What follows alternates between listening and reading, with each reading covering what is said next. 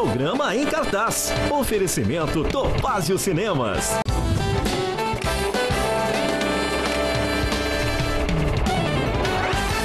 Olá! Essa semana é daquelas em que a gente vai para o cinema em trajes de gala, porque com toda a pompa tem a estreia de Napoleão. Mas essa não é a única novidade da semana nos cinemas. Além dela, temos uma dupla conexão França-Brasil, porque são duas estreias brasileiras. Inclusive, uma dessas brasileiras quebra com muito axé a sisudez napoleônica. Mas a gente chega lá. Antes, aquele pedido de mim para você, só nós dois aqui, para você se inscrever no nosso canal. Fazendo isso, você vai ficar muito mais informado sobre o que estreia nos cinemas. Além, claro, de ajudar a gente a crescer e chegar para mais gente. O que ajuda bastante também é o seu joinha nos nossos vídeos. Mas pedir isso também para você já seria muito abuso, né? Ou não seria? Bom, então nossa primeira estreia para comentar é Napoleão. É a cinebiografia de uma das maiores personalidades da história do mundo, o brilhante estrategista, comandante de um exército poderoso que se tornou imperador da França e assombrou o mundo ao varrer a Europa em uma série impressionante de conquistas militares. Mas também um homem que amou e que teve sua vida tirada do equilíbrio também por essa paixão por Josefina. Pode ter parecido, mas não é exagero dizer que Napoleão é uma das maiores personalidades da história do mundo. Isso não quer dizer que ele era bom ou que ele era ruim. Não se trata disso. A questão é o tamanho que ele adquiriu no seu tempo. E olha que ele tinha só 1,68m, hein? Prampampsh. Brincadeira. Em uma época em que as batalhas ainda se decidiam no campo de batalha, no combate pessoal, ele desenvolveu a fama de general invencível, um estrategista genial que conseguia enxergar muito além dos inimigos. Tanto que suas campanhas são estudadas em academias militares até hoje. Depois, como imperador, se revelou um entusiasta da educação e um modernizador das leis francesas. Tudo isso levou à frase que está no trailer Abre aspas, eu sou o primeiro a admitir quando eu erro. Eu simplesmente nunca erro. Fecha aspas. Autoconfiança e arrogância andam muito próximas uma da outra. E não é difícil que elas se confundam uma com a outra. Toda essa grandiosidade inspiraria, séculos depois, um grande diretor, ele próprio dado a ímpetos de grandeza, a fazer uma cinebiografia sobre Napoleão e eu ainda não estou falando de Sir Ridley Scott, que dirige esse novo filme. E nem do francês Abel Gance, que em 1967, ou melhor, 1927, fez aquela que é, pelo menos até aqui, a mais famosa e importante cinebiografia de Napoleão. Aqui eu me refiro ao grande Stanley Kubrick, o também genial diretor de clássicos como 2001, Uma Odisseia no Espaço, O Iluminado e Glória Feita de Sangue, planejava filmar a história do imperador francês justamente como seu próximo projeto depois de 2001, ali entre o fim dos anos 60 e o início dos 70.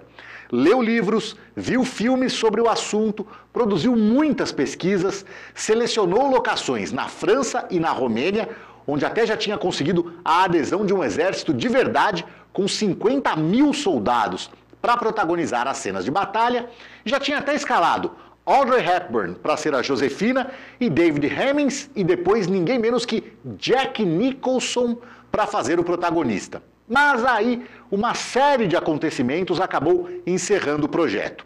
Teve o lançamento do soviético Guerra e Paz, o fracasso do hollywoodiano Waterloo, os dois com esse mesmo tema, e principalmente o recuo dos investidores diante do alto custo da produção. O trabalho só não foi totalmente perdido porque Kubrick aproveitou parte da pesquisa para fazer Barry Lyndon, filme que seguiu Laranja Mecânica, que seguiu 2001.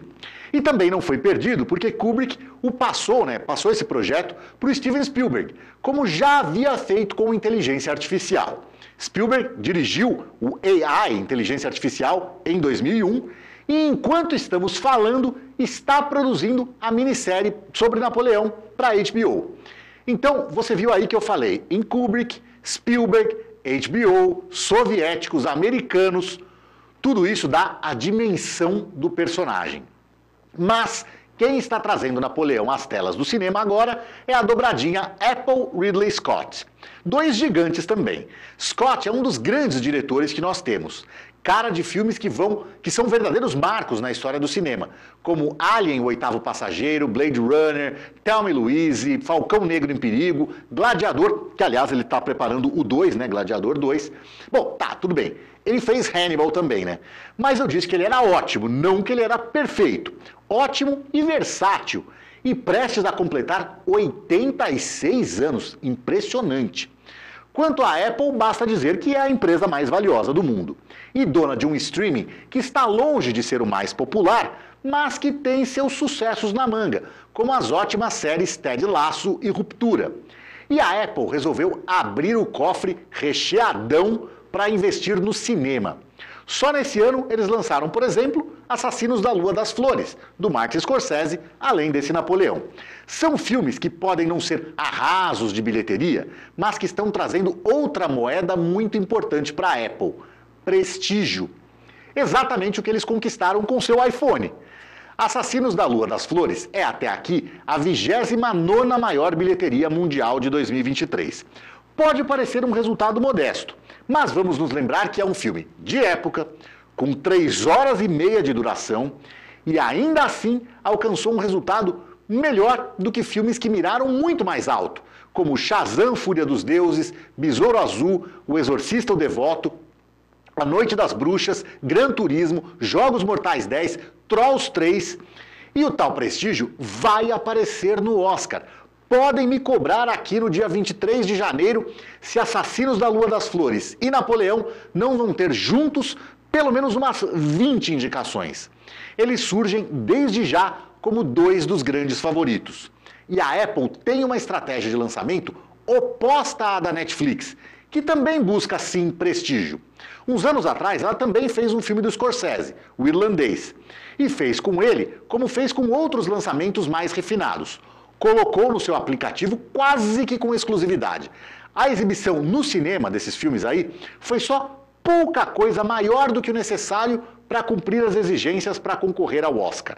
Já a Apple não. A Apple aposta em um lançamento maciço nos cinemas para só mais tarde, sem pressa, disponibilizar na sua plataforma de streaming. Inclusive a chamada versão do diretor, com quatro horas de duração. Essa que vai para o cinema agora tem pouco menos de duas horas e meia. E olha que diversão do diretor o Ridley Scott entende, porque foi ele que começou esse negócio com Blade Runner, mas isso é outra história. Mas antes que alguém pense que ele foi obrigado pela Apple a reduzir o filme para exibição no cinema, não foi nada disso. A iniciativa foi dele próprio, que considera que duas horas e meia é o máximo de tempo que a pessoa aguenta ficar sentada no cinema sem começar a se sentir desconfortável e achando que o filme está arrastado. Um problema que em casa é mais fácil de contornar, com o espectador podendo fazer as pausas quando quiser. Então, ao contrário de reclamar da Apple, o diretor é só elogios para a empresa, principalmente pela confiança em colocar um orçamento de 200 milhões de dólares nas mãos dele. Mas nem sempre ele está com esse bom humor todo. Ele também tem distribuído umas patadas muito divertidas, por sinal, sobre as críticas em relação a algumas imprecisões históricas, como o fato de Napoleão não ter presenciado a execução da rainha Maria Antonieta, ao contrário do que é mostrado no filme, ou ter bombardeado as pirâmides do Egito, o que também obviamente não aconteceu. Ele disse, abre aspas, ah, vão arrumar o que fazer. Quando algum historiador implica com um filme meu, eu pergunto: desculpa, amigo, mas você estava lá? Não! Então, cala a boca. Fecha aspas. Sobre as críticas da imprensa francesa, que considera que o filme demoniza esse herói nacional e ao mesmo tempo é muito bonzinho com os ingleses, ele respondeu apenas que não ouviu ninguém vaiar o filme na pré-estreia em Paris. Bom, falei muito sobre Napoleão, sobre os filmes feitos e o não feito sobre ele, sobre Apple, sobre Ridley Scott. Antes de mudar de assunto, vale gastar um minutinho com os protagonistas. No difícil personagem título, Joaquim Phoenix, ganhador do Oscar por Coringa, papel que ele vai reprisar no ano que vem, né? Coringa 2. É um ator que tem as ferramentas dramáticas para entregar um personagem complexo e atormentado. O roteiro não transforma o grande amor de Napoleão, Josefina, em coprotagonista só por um capricho politicamente correto. Ela foi realmente uma paixão avassaladora dele, uma grande influência em sua vida e, na verdade, a última palavra que ele disse na vida foi o nome dela. Em seu leito de morte, Napoleão disse, abre aspas, França, o exército, a cabeça do exército, Josefina, fecha aspas, e morreu. Para interpretar essa personagem, a hipnotizante Vanessa Kirby, dos últimos Missão Impossível, da série The Crown e indicada ao Oscar por Pedaços de uma Mulher. A segunda estreia da semana, como eu antecipei lá no início do programa, é nacional. Na comédia Não Tem Volta, Henrique levou um pé na bunda de Gabriela. Arrasado, ele decide que não quer mais viver. Mas, como não tem coragem de se matar, recorre a um assassino de aluguel, que vai tirar a sua vida quando ele menos esperar. Só que quando a Gabriela resolve que quer o Henrique de volta, como é que ele faz para pedir o cancelamento do contrato com o assassino? o cinema nacional ainda busca uma retomada no pós-pandemia. Se mesmo no cinemão hollywoodiano as coisas ainda dão uma sensação de que estão pegando no tranco, mesmo com sucessos estrondosos, como Avatar O Caminho da Água, Homem-Aranha Sem Volta para Casa e Barbie, imagina o cinema brasileiro. Não custa lembrar, por mais doloroso que seja, que o grande chamariz de bilheteria do nosso país, Paulo Gustavo, morreu justamente de Covid. Mas ele deixou a pista Sim, temos Cidade de Deus, sim, temos Tropa de Elite, mas brasileiro gosta de ir ao cinema para se ver na comédia. Mussum Filmes, que está indo muito bem, obrigado, é um drama leve com muitos momentos para provocar riso. Não Tem Volta é uma comédia romântica com aventura e, veja só você, suspense. A trama foge do real o suficiente para a gente ficar curioso com esse absurdo do cara que encomenda a própria morte e depois se desespera quando percebe que não vai ser tão fácil assim cancelar o combinado. Junte isso a um cara naturalmente engraçado como Rafael Infante e a uma atriz boa e que transmite esse frescor, que é o caso da Manu Gavassi, e a coisa fica muito bem encaminhada para a gente se divertir no cinema. Agora a gente arremata o pacote de estreias nos cinemas com mais um filme brasileiro. E é uma continuação. 16 anos depois do original, em Opaió 2, somos levados de volta ao Curtiço de Salvador, administrado pela síndica Dona Joana. Lá, velhos personagens e conflitos se misturam a novos personagens e conflitos, enquanto tentam usar a popular festa de Iemanjá para salvar o bar de uma amiga da turma. Eu acho muito bacana essa coisa da volta às origens, né, do retorno à comunidade. Lázaro Ramos é um ator que saiu de Salvador para se tornar reconhecido nacionalmente nas telonas do cinema e na telinha da TV Globo. Mereceu chegar lá com um trabalho que combina talento com simpatia e consciência social. E claro que essa última parte, a da consciência social, incomoda muita gente, ainda mais quando vem de um homem negro. Até por isso, essa volta às origens. Ele achou importante, mesmo depois de fama, dinheiro e sucesso, voltar para Salvador, de tanta beleza, de tanta coisa boa para mostrar, mas de tantos problemas também. Fez isso em 2007, com o primeiro filme. Faz agora de novo com o segundo. Nessa segunda visita, alguns outros retornos, como os do também ótimos Érico Brás e Dira Paz, mas também novos personagens, novos também em idade, a geração do futuro, as crianças e os adolescentes.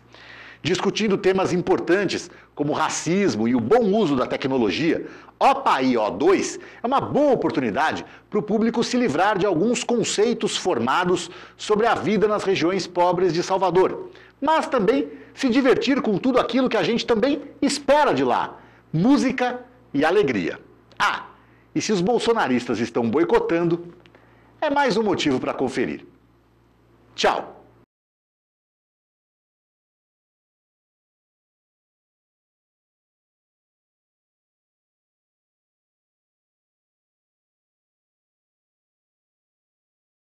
Programa em cartaz. Oferecimento Topázio Cinemas.